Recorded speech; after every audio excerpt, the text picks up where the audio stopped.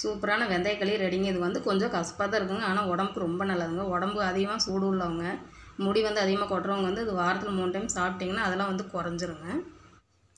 வணக்கம் ஃப்ரெண்ட்ஸ் முளைகட்டி வெந்தயக்களி சேர்க்குங்க ஒரு நாள் ஃபுல்லாக வெந்தயத்தை வந்து ஊற வச்சுருங்க. மறுநாள் வந்து துணியில் வந்து சுற்றி வச்சிங்கன்னா நல்லா இந்த போல் முளைச்சிருங்க. அஞ்சு ஸ்பூன் நல்லெண்ணெய்ங்க கரும்பு சர்க்கரைங்க ஒரு டம்ளர் தண்ணிங்க. வெந்தயத்தை ஃபஸ்ட்டு அரைச்சிக்கலாங்க. ஒரு டம்ளர் தண்ணி ஊற்றி அரைச்சிக்கலாங்க. தேவையான அளவு தண்ணி ஊற்றி நல்லா நைஸாக அரைச்சாச்சுங்க நல்லா இந்த அளவுக்கு அரைக்கணுங்க. கரும்பு சர்க்கரையை காய்ச்சி வடிகட்டிக்கலாங்க.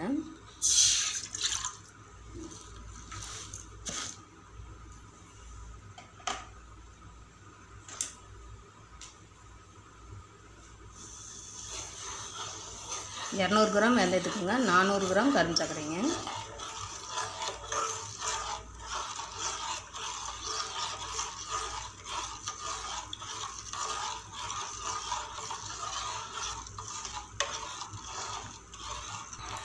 சக்கரை நல்லா கரைஞ்சிடுச்சுங்க எடுத்து வச்சிடலாங்க. கரும்பு சக்கரை வடிகட்டிக்கலாங்க.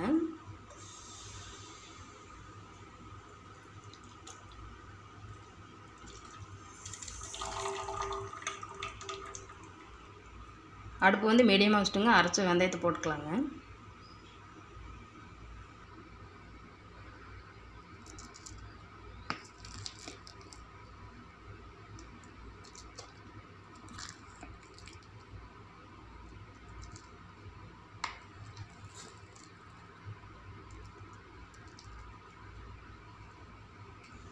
நல்லா கலந்து விடலாங்க.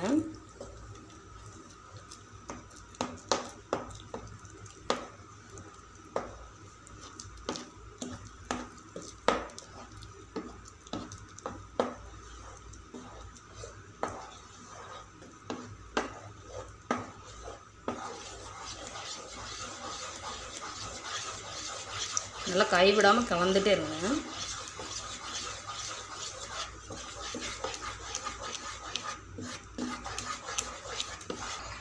அடுப்பு வந்து மீடியமாக வச்சுங்க கட்டிலாம் நல்லா ஃபஸ்ட்டு கலந்து விட்ருங்க அதுக்கப்புறம் வந்து ஹையில் வச்சுக்கலாங்க.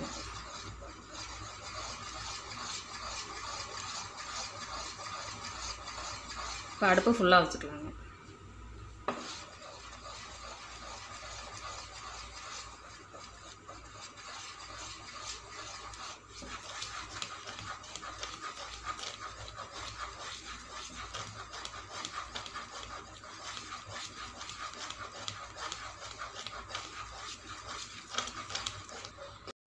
நல்லா கொஞ்சம் கெட்டியாகி வருதுங்க. இப்போ எண்ணெய் ஊற்றிக்கலாங்க அஞ்சு ஸ்பூன் நல்லெண்ணெய்ங்க.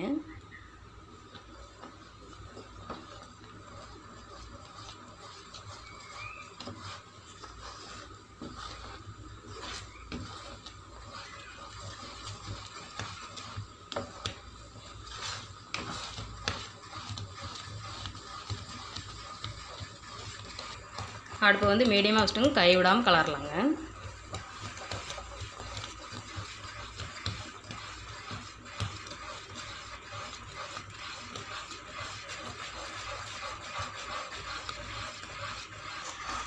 பதினஞ்சுலேருந்து இருபது நிமிஷம் நல்லா மிக்ஸ் பண்ணுங்கள் கைவிடாமல் கலருங்க.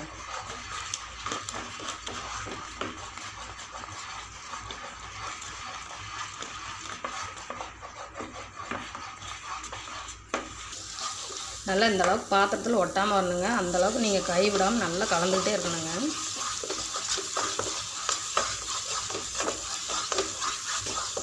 நல்லா ரெடி ஆயிடுச்சுன்னா அடுப்பு ஆஃப் பண்ணிக்கலாங்க.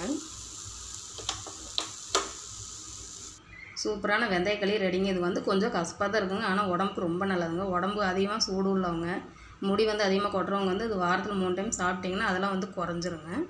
நம்ம வீடியோலாம் பாருங்கள். லைக் பண்ணுங்கள் ஷேர் பண்ணுங்கள் சப்ஸ்கிரைப் பண்ணுங்கள். மறக்காமல் பெல் பட்டனை கிளிக் பண்ணுங்கள். Thank you friends